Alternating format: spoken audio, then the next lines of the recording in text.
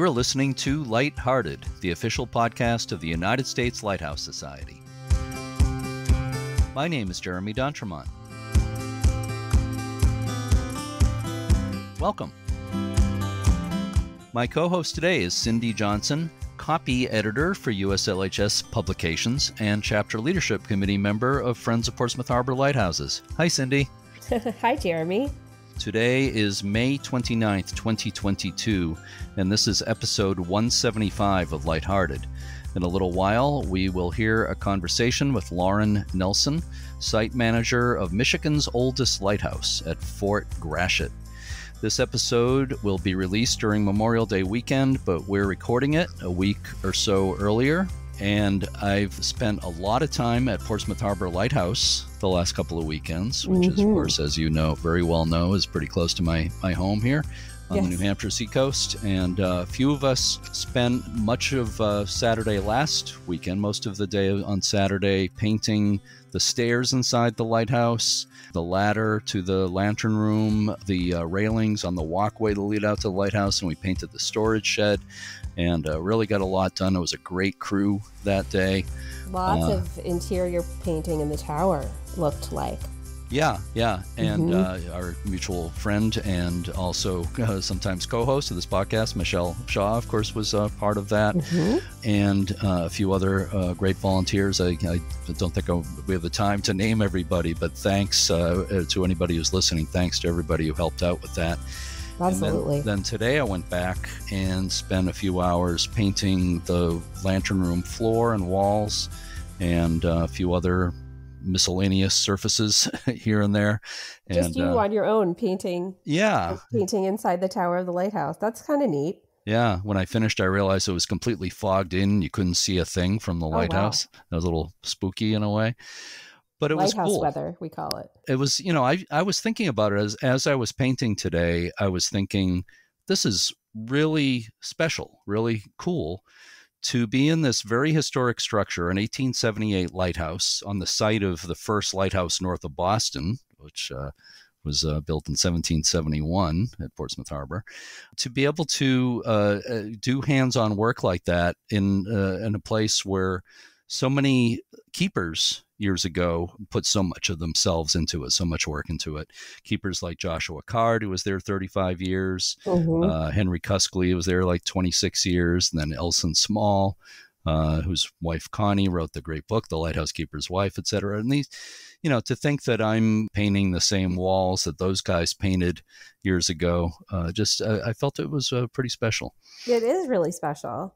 I always say when people ask if the lighthouse is haunted, and as you know, as you very well know, we have stories about that oh, subject. Yeah. I always say that if people choose not to believe that the spirits of the keepers are, are literally there, then uh, they're at least figuratively there, and they inspire us every day. Absolutely, yeah, yeah. Mm-hmm. So that was yeah, that was you today and you've yeah. got that you you said you've got some uh, paint still on your hands and, and arms to prove it. Yeah i sure do. I think it's going to be years before i get it all off i'm not I, I, did get some on the walls too though. I, I, tend to get a lot of myself along right. the way. But anyway so that was uh, that was fun. Painting uh, floors and, and you know cast iron spiral staircase steps that's that's no easy task no, not for somebody as uh, messy and clumsy as me. No, it's not. But but but it's it, but it's also enjoyable. It's tiring, yeah. but it's uh, I find it very enjoyable. But anyway, just uh, before we move on, I just want to say a little bit more about Portsmouth Harbor Light. We have tours starting this uh, Memorial Day weekend, the weekend people are going to be hearing this. We start uh, with tours on Friday evenings and Sunday afternoons, tours by reservation only. People can reserve uh, the tours through our website, portsmouthharborlighthouse.org. And I'll be giving some of the tours. Our again, our friend and co-host uh, Michelle Jewel Shaw will be giving some of the tours. And sometimes we'll be giving them together. So, like I said, we just uh, done a lot of painting to make the lighthouse look nice but uh, the walkway, the 84 foot walkway that leads out to it, is in uh, very much in need of replacing at this point. That's right. Uh, and to help raise funds for the new walkway, there will be a June Jamboree event at the Kittery Lions Club uh, right up in Kittery, Maine. On the afternoon of Saturday, June 4th, uh, there will be live entertainment and free pizza. Yeah, yeah. So uh, several uh, pizza places have uh, pledged pizzas for us, so that's, that's uh, great. That is great. We'll also have a silent auction with uh, some really cool prizes. Of course. People can read about the event. And as I said, our tours again, I'll mention the website again, Portsmouth Harbor Lighthouse.org. There's going to be uh, some uh, Irish uh, dancers from a, a kids' uh, Irish dance school in Dover, New Hampshire, and also a fun uh, musical group called the Honey Badgers. so, yeah, it's going to be a lot of fun. Yeah, fun. I hope to see some of our listeners there. And I just want to mention too, for people who can't make it to the event, if you want to help out with the uh, the walkway, with the fundraising for the walkway, there's also a GoFundMe page we just launched, just launched yesterday. It's doing pretty well. So if you go on GoFundMe and search for Portsmouth Lighthouse, it's pretty easy to find. There's also a, a link uh, to it on our website. Right. There are also two Sunset Lighthouse cruises coming up on June 17th and June 24th, leaving from Rye Harbor, New Hampshire. Yep, I'll be narrating those cruises. They will go near three local lighthouses. Again, all the details are available at portsmouthharborlighthouse.org. So, Cindy, please help me tell everyone about Fort Gratiot Lighthouse and today's guest, Lauren Nelson. Sure, Jeremy. With the 1825 completion of the Erie Canal, which linked the Great Lakes to the Hudson River and the Atlantic Ocean, maritime traffic in the Great Lakes increased dramatically. As the canal was being completed, Congress appropriated funds for a light station near Fort Gratiot in the southern portion of Michigan's Thumb. The fort, at the juncture of Lake Huron and the St. Clair River, was built in 1814 and was named for Charles Gratiot, the engineer who supervised its construction. When the light station was established at Fort Gratiot in 1825, it was the first light station in the state of Michigan. The original 32 foot tall tower fell after being damaged in an 1828 storm and it was soon rebuilt, with the new tower first lighted in the spring of 1830. The new brick tower stood 69 feet tall. In 1862, an addition raised the height of the lighthouse by about 20 feet. A steam operated fog signal was added to the station in 1871, and a new duplex house was built a few years later to house a principal keeper, an assistant keeper, and their families. The Coast Guard vacated the light station with the construction of the new Coast Guard station, Port Huron, built in 2004. In 2010, ownership was transferred to St. Clair County Parks and Recreation. With funds from the city of Port Huron and other sources, some restoration work was completed and the light station was opened to the public in 2012. Port Huron Museums operates the site, and the Friends of Fort Gratiot Light also work for the preservation of the lighthouse and other buildings. A recent grant from the Michigan Lighthouse Assistance Program will enable St. Clair County Parks and Recreation to hire a consultant to rehabilitate the Lighthouse Tower's watchroom and lantern room. Lauren Nelson is the site manager of Fort Gratiot Light Station for Port Huron Museums.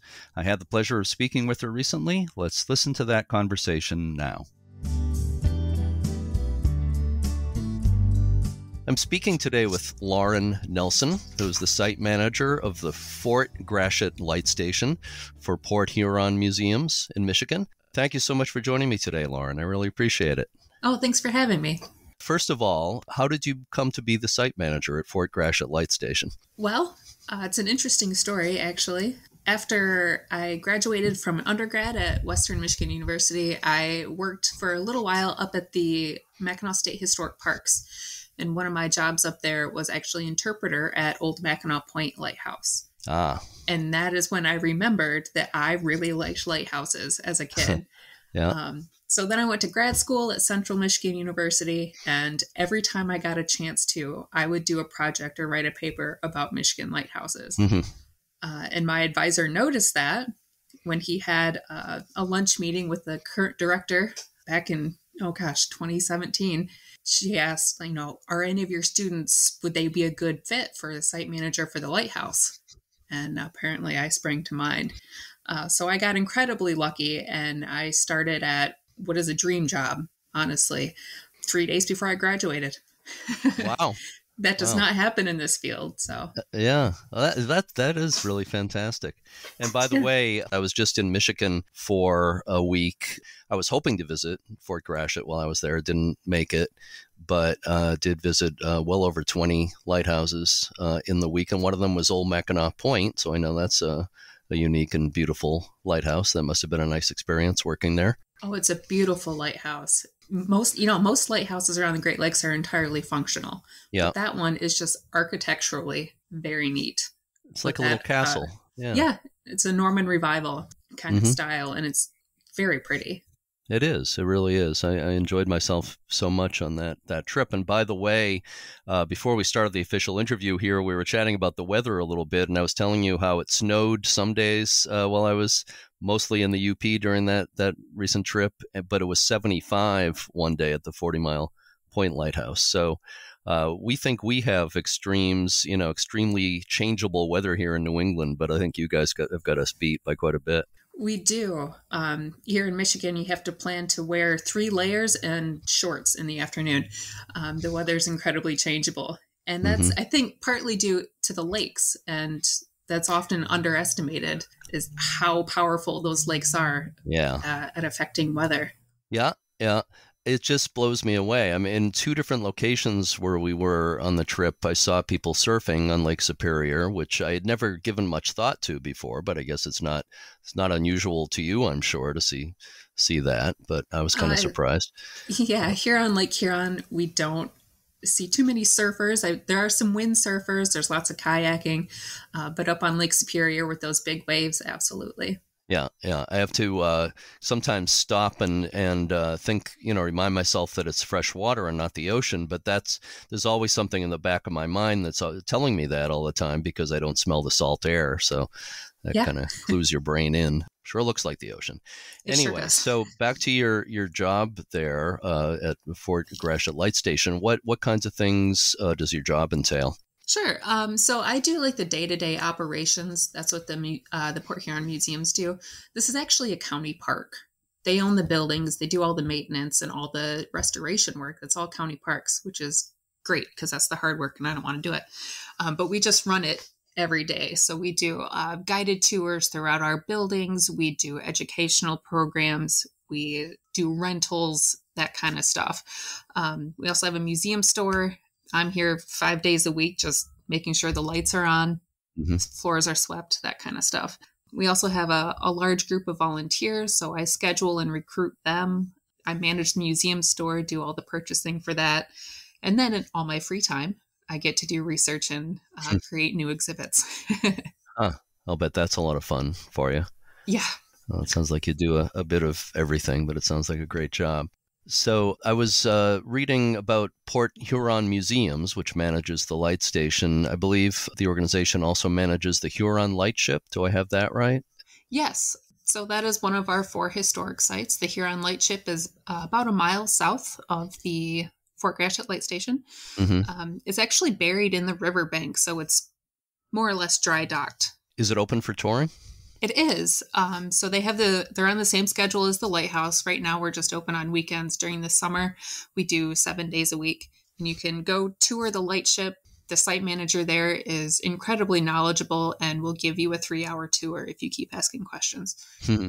It's fantastic. Uh-huh. Um, it's really a treasure. Uh, it was the last lightship stationed here on the Great Lakes. Yeah. Uh, it was built in 1920 and was active for 50 years until 1970.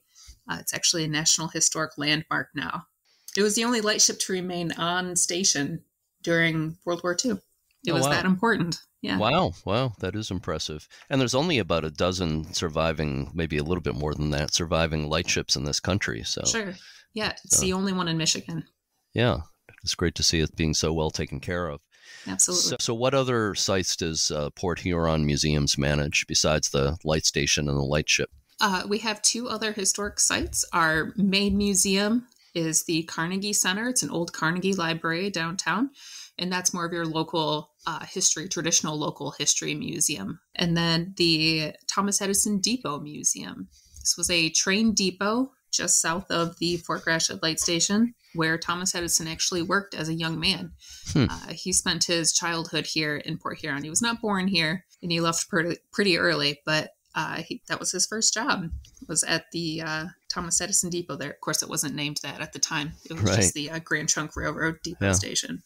That would have been quite a coincidence if it was named yeah. that when he was a young man and worked there. Well, that's interesting. I didn't know about that. So, if we could uh, talk a little bit about the name of Fort Gratiot, and I had to double check myself before we did the interview today to make sure I'm pronouncing it right.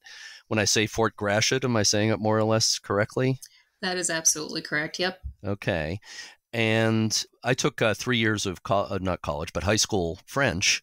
Uh, so my inclination is to think it's a gradio or so, you know something along those lines more of a yep. French pronunciation. But why? First of all, where does the name come from, and why is it pronounced the way it is? Um, there's a lot of French names here in Michigan, and we don't always pronounce them the way they should be. Gratiot actually came from Captain Charles Gratiot, who was an Army engineer who built the actual military fort just south of the light station. Uh, it was built in 1814. Yeah, from your high school French, it probably should be something more like Rachot.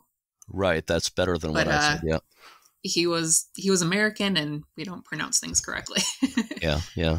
There's a lot in Michigan named after Gratiot. There's a road here in Port Huron called Gratiot. There's also uh, Fort Gratiot. It's a township just north of here. So there's there's a lot sharing that name, and all mm-hmm. of it's pronounced the same, which is incorrect. Forgive me if you have already said this, but I'm not clear on uh, Fort Gratiot. Is there anything of that fort uh, remaining today? Yes and no. So, uh, Fort Gratiot was built in 1814. This is the last year of the War of 1812. And if you pull up a map of the Great Lakes, you'll notice um, right here at the bottom of Lake Huron, where the St. Clair River starts, is a strategic choke point. Um, so, if you're able to control the boat traffic coming through this very narrow channel right here, yeah. you're able to control everything that goes on in the upper Great Lakes. Uh, you can't get to Superior or Lake Michigan until you come through here. Um, right. Um, so the Americans built a fort here in 1814, so they can kind of control what ships uh, are coming through here. Mm-hmm. Uh, just across the St. Clair River from us is Canada. That was British at the time. Of course, the War of 1812, the Americans and British were fighting again. So, just in case they tried to attack from this angle, that fort was here to protect it. That fort was garrisoned um, until 1821, at which point the tensions between the two countries kind of fizzled out a little bit in the 1820s, it was actually leased to um, a missionary school. So there was a school here that was teaching both uh, European American uh, students and uh, local Anishinaabe students as well. With some of the Native American uprisings going on in Wisconsin in the late 1820s, 1830s, they actually regarrisoned the fort and completely rebuilt it. That was an active fort until 1879, at okay. which point they uh, abandoned it. It just didn't need it anymore. Most of the fighting's going on further west in the country. Uh, so this was not a strategic area anymore. So they uh, abandoned it, tore down some of the older buildings, and actually sold some. There's one building that we know of that still exists from the fort, and that is our uh, Fort Gratiot Post Hospital.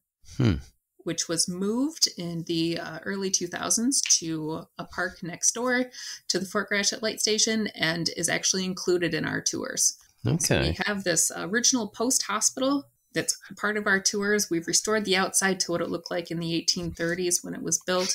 Yeah. Uh, the inside, though, is a work in progress. Mm-hmm. Mm-hmm. So um, we have the one building, uh, but where the fort actually was, the original site, unfortunately, it's been developed. There's a big hotel there now. We have a culinary school and some apartments right there. Oh, okay. Uh, yeah. yeah. Yeah, I was going to ask you about the hospital building because I wasn't clear on what that was, but uh, yeah, um, not technically part of the Fort Gratiot Light Station. Um, it's in a separate park, but just right next door, so it is included right. in our tours, just okay. because we do share that history. Sure, that makes a lot of sense. So obviously, it's a very strategic location from everything you just said. Uh, so you've partly already answered my next question, but why was a light station needed at uh, the Fort Gratiot location? Or there there must be additional reasons besides uh, what you've already talked about. Sure, I actually have a really good quote from. Uh, this is from Alexander Thompson, who was a commanding officer at the fort uh, in the 1820s when that first lighthouse was built. So the quote is all the property from Lakes Superior, Huron, and Michigan, together with much from the Mississippi going both and coming, uh, passes through this channel, and there is not on any of our lakes a more necessary situation for a lighthouse than near the mouth of this outlet. And he puts it really well. There are three Great Lakes emptying into an 800 yard river. Mm-hmm. There is a lot of water coming down here. There are actually rapids under the Blue Water Bridge currently. It's a very swiftly moving current. It narrows very quickly from Lake Huron into the St. Clair River. Uh, and there's a very narrow channel through which any boat can go. Um, yeah. It gets, you know, shallow on either side. And I think that speaks to that strategic location right here. There's so much ship traffic coming through, especially with the opening of the Erie Canal. You really kind of need a lighthouse here. right. And the Erie Canal opened in 1825. Do I remember that right? Which, yes. Yeah, yep. it was actually the same year when that the light station was established. Yep. So that first lighthouse was about 30 feet tall. And if it was still standing today, would be like right under where the Blue Water Bridge is. It was at the northeast corner of Fort Gratiot. So that's how actually how we got our name. We were the light at Fort Gratiot, and it became Fort Gratiot Light Station. Yep, makes sense. Yeah. So again, the the original lighthouse was established in 1825, but it lasted only about three years. How how come it uh, lasted for such a short time? Yeah. So the 1820s in general was not a great time for lighthouses. Things were not done terribly well. There was yep. not a lot of quality control. Um, any fan of lighthouse history can tell you exactly why, and his name was Stephen Pleasanton, right? Well, um, yeah. I feel bad for him sometimes because people uh, make him out to be a villain. He was basically basically doing his job and just keeping the, yeah. the budget for our lighthouses as low as possible. But, yeah. He was absolutely just doing his job, but mm-hmm. sometimes it didn't work out well. No, um, you're absolutely right. So that first lighthouse, um, there's another quote from Alexander Thompson, the commanding officer at the fort uh, just next door and he says quote the destruction of the former lighthouse was principally caused by the infamous manner in which it was constructed having been mostly built of round stones and wretched cement or mortar which is a pretty good description of it. It was just poorly built. It was built on the bank of a very swiftly moving river. Um, it was damaged in a storm in 19, 1828 and just kind of fell over.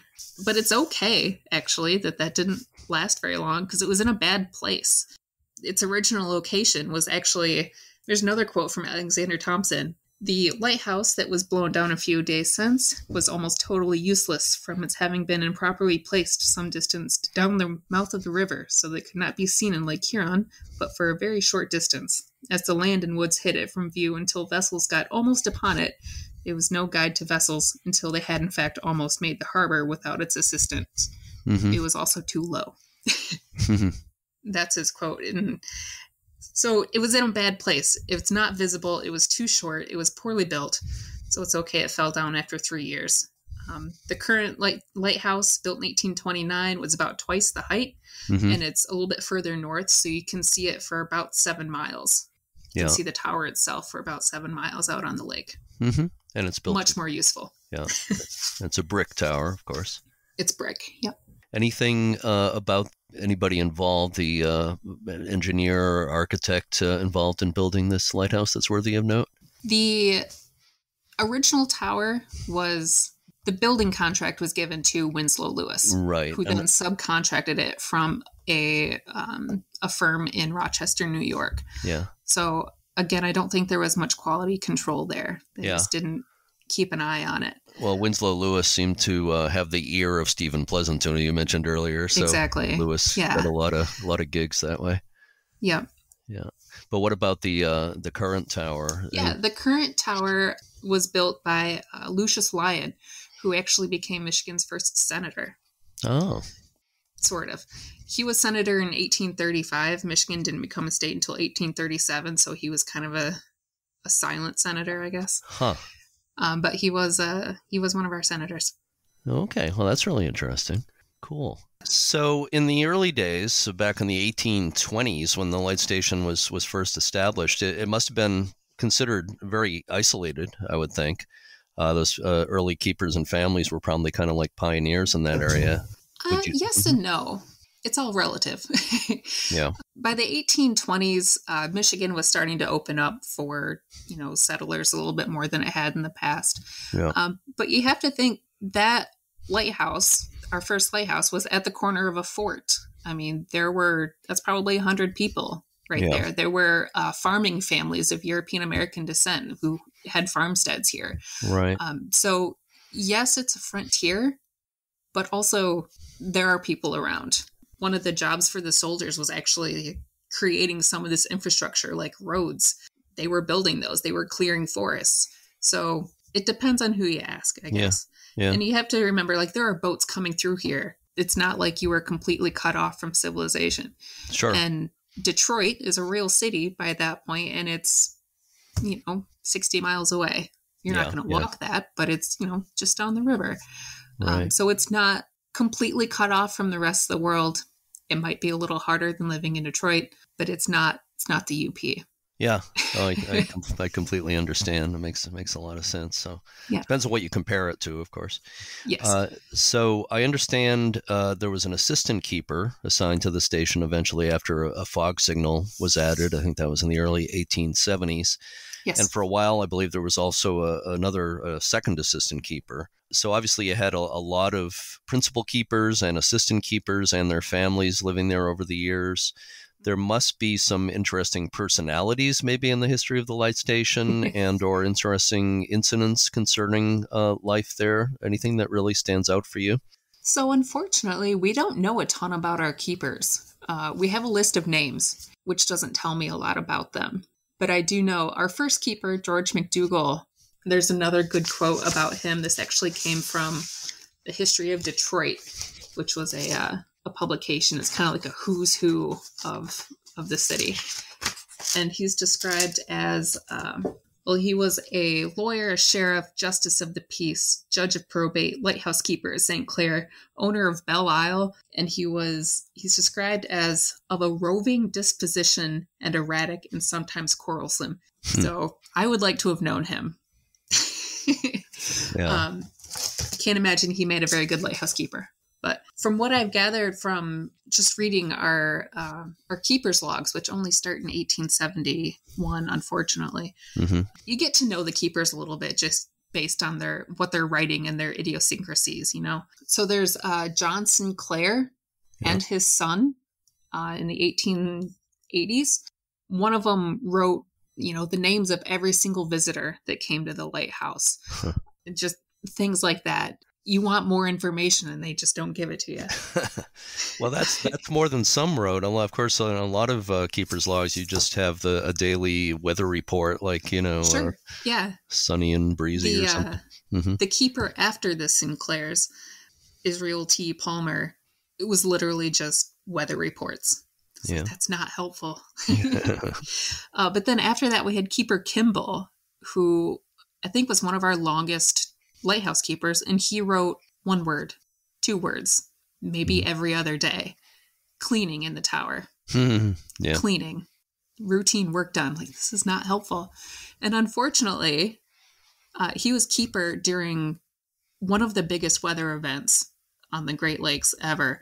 Um, in 1913, there was the uh, storm of 1913. We call it the White Hurricane or the Big Blow. Of course, we don't have hurricanes here in the Great Lakes, but this one the winds were so high that it was actually considered hurricane force winds.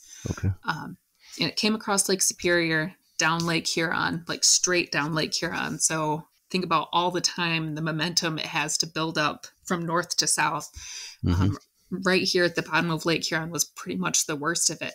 Keeper Kimball said later in a, a newspaper report that the waves were 40 feet tall.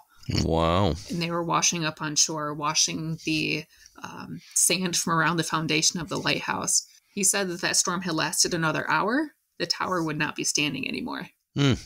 So there's this incredible storm, dozen shipwrecks. There's a shipwreck like right outside the lighthouse. It's upside down. It was floating there for three days.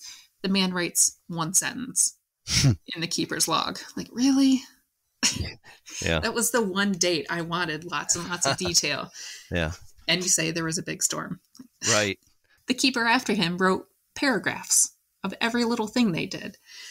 Um, so just these different methods of record keeping, I guess, is interesting. Yeah.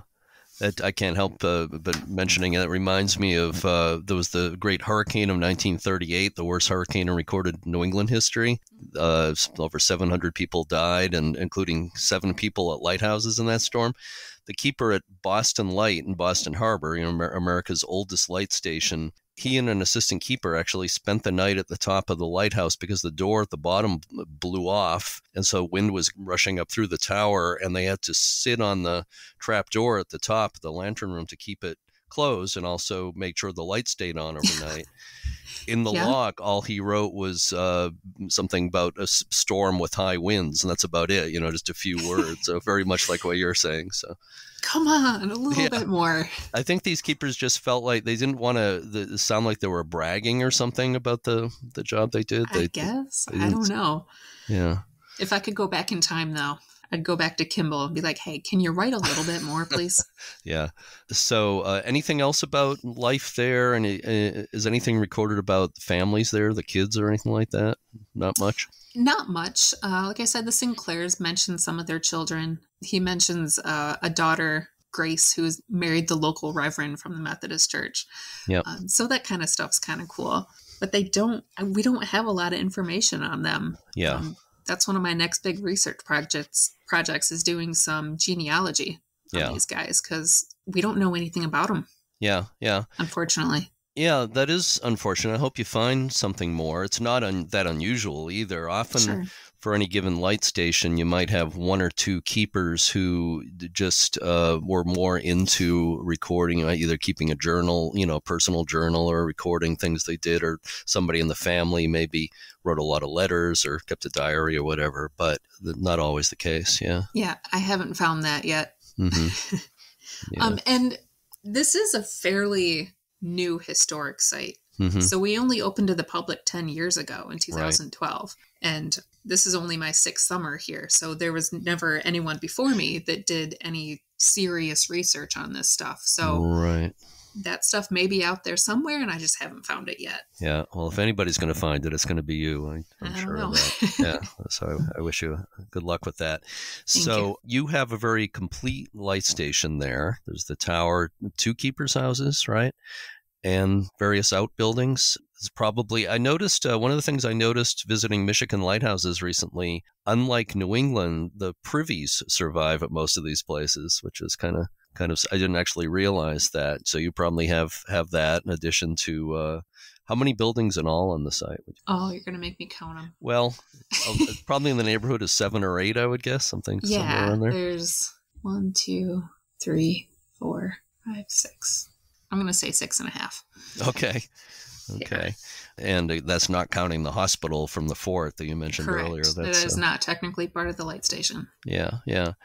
When people visit there, do they get to go in multiple buildings? Yeah. Um, so we do guided tours. It'll take you into our fog signal building. Unfortunately, all the really cool machinery is gone. That was scrapped in the 70s. Um, you get to go into the Keeper's Duplex, which has been restored to the 1930s and then you get to go, of course, in, into the tower. Some of our other buildings include the uh, Coast Guard Equipment Building.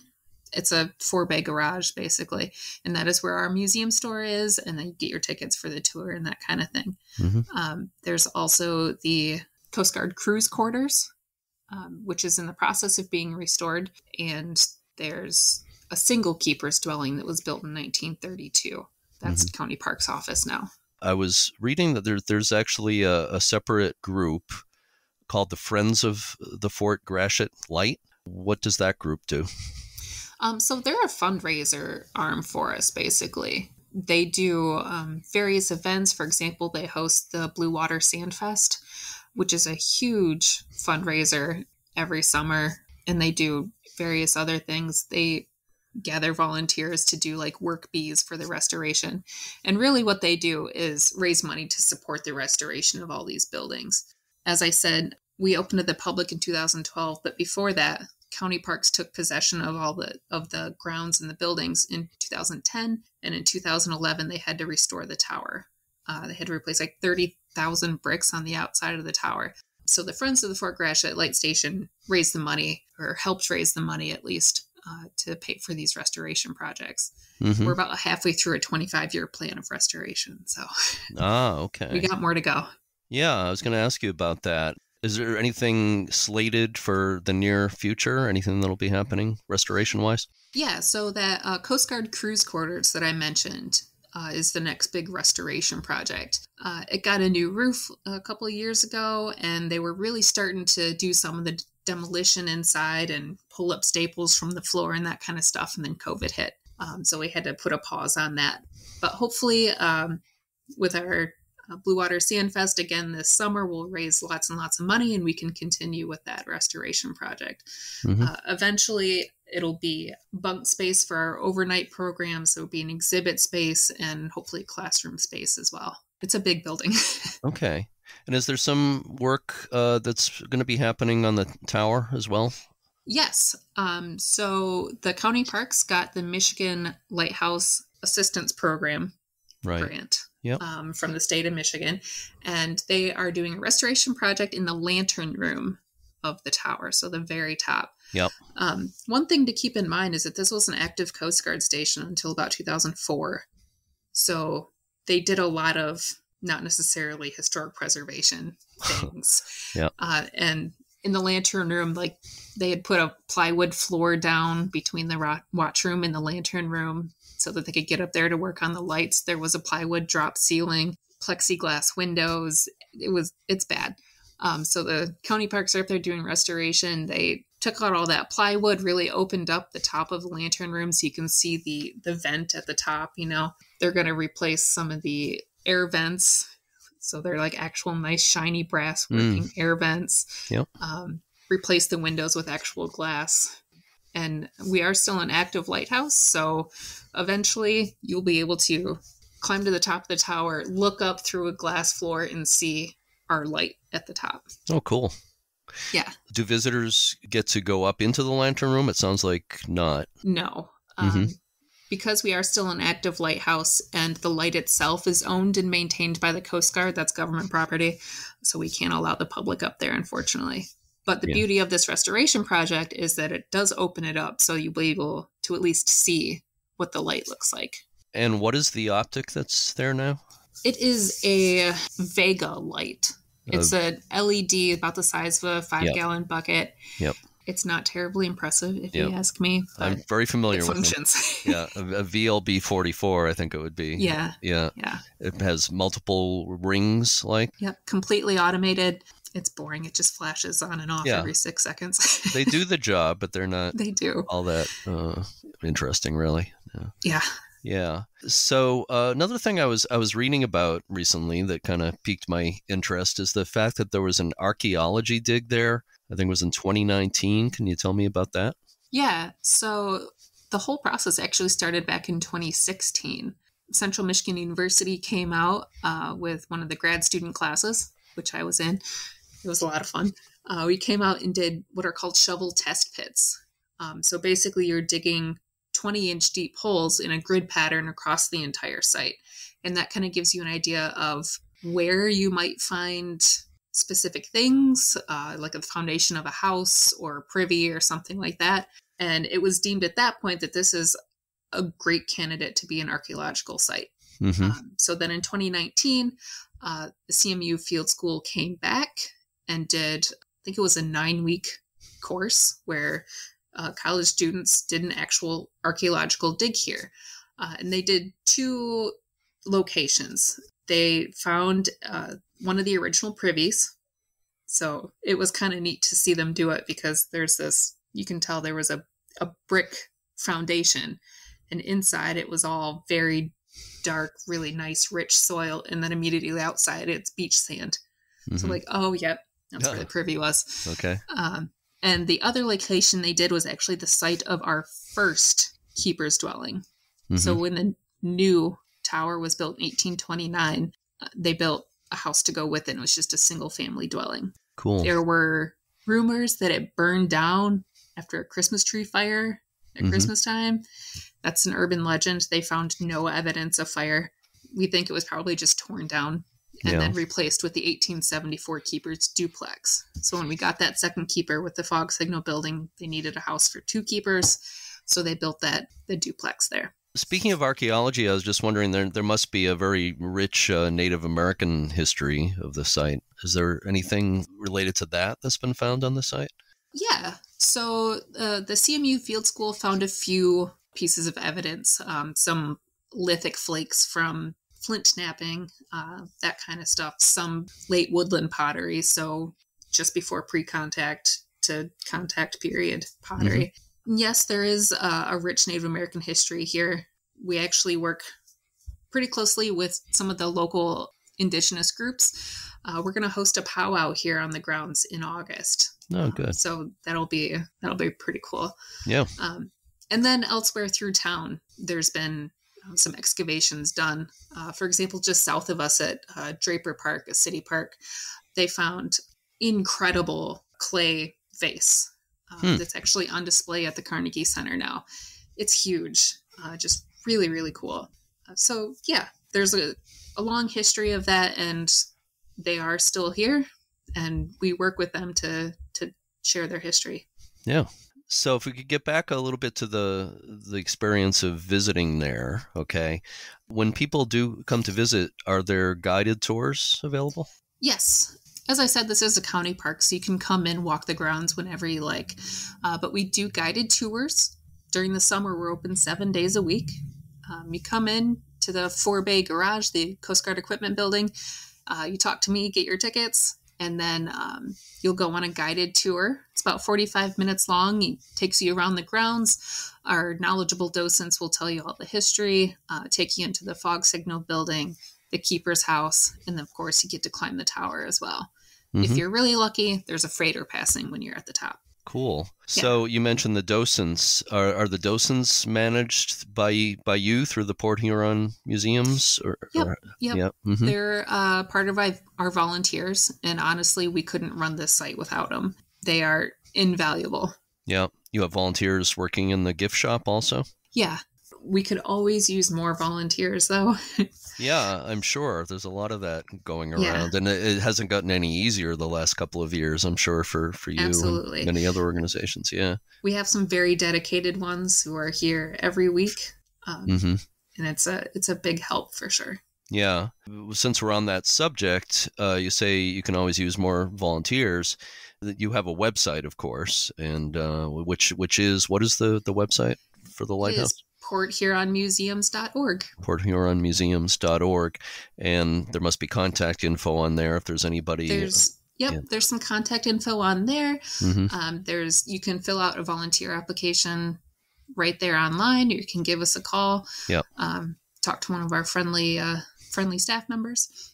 Um, you can also follow us on Facebook. That's a good way to keep up to date with everything that we're doing at all of our sites. Yeah is the Facebook uh, page Port Huron Museums, or is there one yep. specifically for Fort Gratiot Light Station?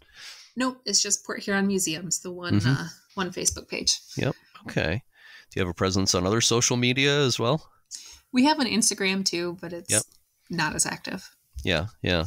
It's it's hard. It takes it takes a lot of work yeah. to keep those things super active it's a uh, lot of work and we're a very small staff yeah so. i couldn't understand more. So uh, you mentioned the blue water sand fest a couple of times. Can you say a little bit more about what that is? It sounds really really neat. Yeah uh, so the blue water sand fest is a weekend long event. We have like professional sand carvers. I didn't know this was a thing until i started working here. Yeah. Um, but professional like artists. They really are artists. Come in they get they bring in 500 tons of sand put it in great big piles and these sand carvers just create amazing pieces of artwork yep. um, out of sand. And it's a it's a, like i said a big fundraiser for us. Uh, you can come in they are working all weekend and then by sunday they have completed sculptures so they can compete for uh, prize money status i guess.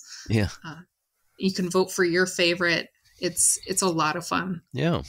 Yeah, um, we have a similar uh, festival or competition here. I live in the New Hampshire seacoast in Portsmouth, New Hampshire, at the at Hampton Beach, which is a major, you know, tourist uh, attraction. Mm-hmm. Uh, there's an annual sandcastle competition in, in June. I'll bet some of the same people are probably uh, I'm You'll sure. probably enter both. There seems to be a fairly small number of people who travel around and do these competitions, and they are absolutely amazing.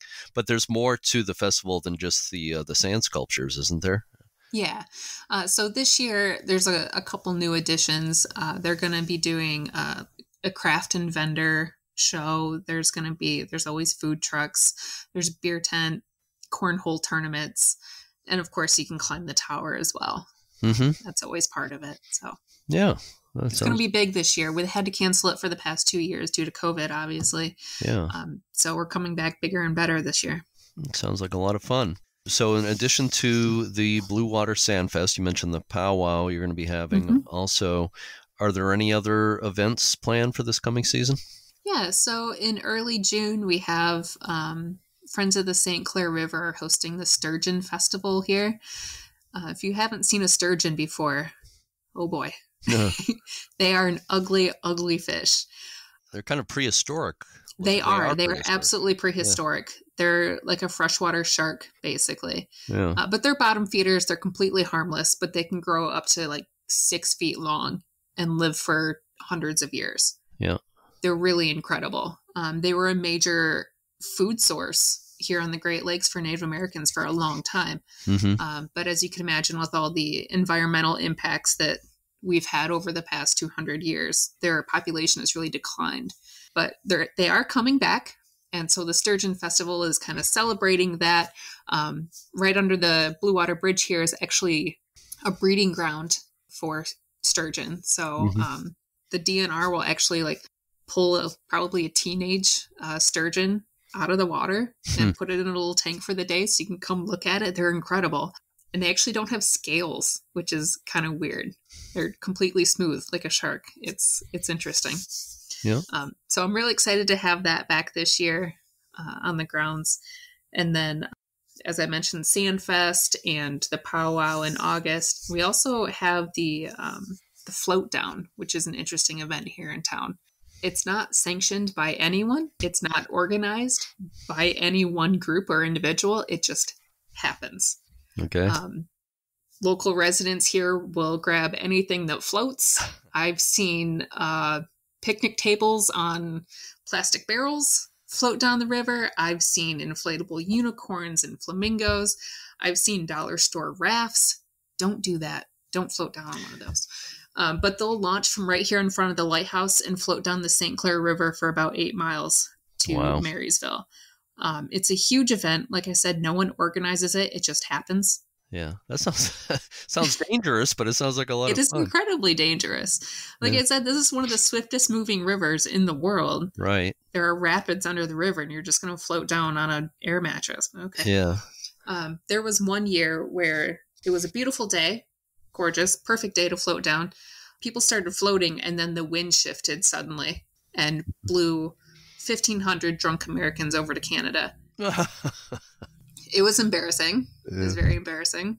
It made international news. It was on BBC. Huh. the Canadians were nice enough to just put them all on a bus and send them back. Because of course you don't have you don't have your passport or driver's license or money or anything. Uh, so they just kind of sighed, rolled their eyes, and sent them back. Yeah. Canadians That hasn't to, happened since, fortunately. they tend to be very polite and forgiving. I think. Of, Yeah. For the most part of us us Americans. Um, yeah, that reminds me of my wife uh, grew up in a in a river town in Connecticut on the Farmington River. She grew up tubing, as they called it, you know, riding an inner tube down the river. So I think she would enjoy that festival. She got she got me to do that one time, and the water was a lot faster than I was expecting, and there were more rocks and shallow water than I was expecting. So one once was more than enough for me. Yeah, Uh, yeah. Um, it also reminds me that there's a, uh pumpkin boat festival in um Damariscotta, Maine, in the kind of mid coast Maine, where people carve out giant pumpkins and squash and, and race uh, on the river in them, which I is feel pretty like that would be entertaining. Yeah, uh, it'd be fun if somebody tried that in your, your area. They you can't steer them at all, of course. They just go where they want to go. But anyway, I digress. So I don't think we need any more bad ideas here. right, right. It sounds like people have plenty of bad ideas on their own with that that one. But yeah. it sounds like there's a lot a lot of neat stuff going on around there. And I'm sorry I didn't make it to Fort Gratiot, uh, the area and the lighthouse on this uh, trip I just made to Michigan. But I'm hoping to get back there next year. Maybe see uh, some different parts of the the state, more of the lighthouses. Yeah. So I hope I'll be able to visit there next year.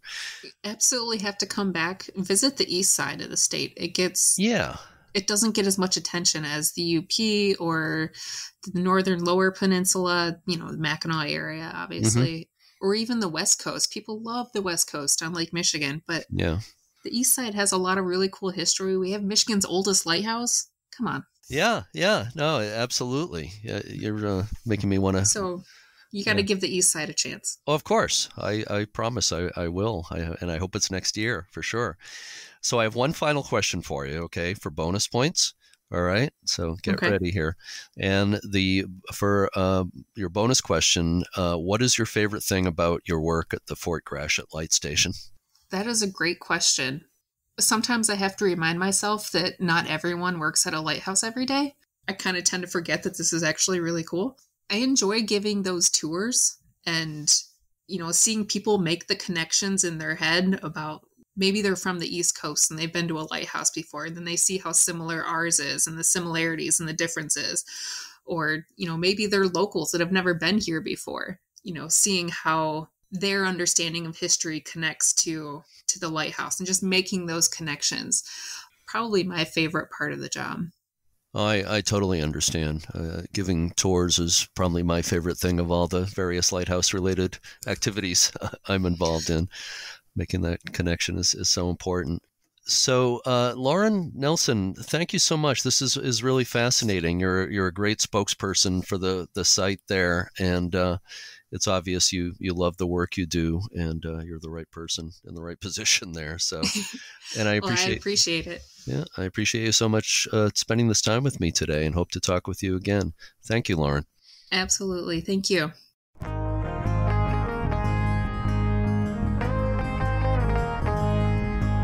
To learn more about Fort Gratiot Light Station, visit the Port Huron Museum's website at phmuseum.org.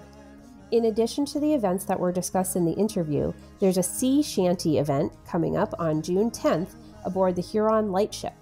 It's a chance to enjoy live nautical music, have some snacks, and raise a glass of rum on board the last lightship on the Great Lakes. Sounds pretty cool.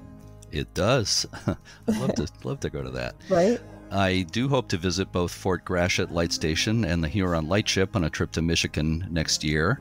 I just uh, got to a, uh, got to visit a bunch of lighthouses in Michigan's Upper Peninsula, uh, a little bit in the uh, Lower Peninsula too, and also over in Minnesota, the Duluth area, a few weeks ago. And some of the interviews I did on that trip will be heard in upcoming episodes of this podcast. Our thanks, as always, to all the members, volunteers, and staff of the U.S. Lighthouse Society at Point No Point in Washington and around the world. Check out uslhs.org to learn more about all the things the Society offers, including the overnight accommodations at the Point No Point and Point Wilson light stations in Washington. I've stayed in the Keeper's House at Point No Point, and I loved it. Mm. Remember that donations and memberships in the U.S. Lighthouse Society help support this podcast. If you listen to the podcast using Apple Podcasts or any platform that allows you to post reviews, please rate and review us. The American psychologist and philosopher William James once wrote, quote, "We are like islands in the sea, separate on the surface but connected in the deep." Unquote. Next week's episode of Lighthearted will feature an interview with Steve Sola, owner of the Duluth South Breakwater Inner Lighthouse in Minnesota, and also an interview with Marilyn Fisher of the Seul Choix Lighthouse uh, in uh, Michigan. Uh, those are two places that I visited on my recent trip. I enjoyed them both very much. As always, to all our regular listeners and to our new ones, thanks so much for listening and keep a good light 山。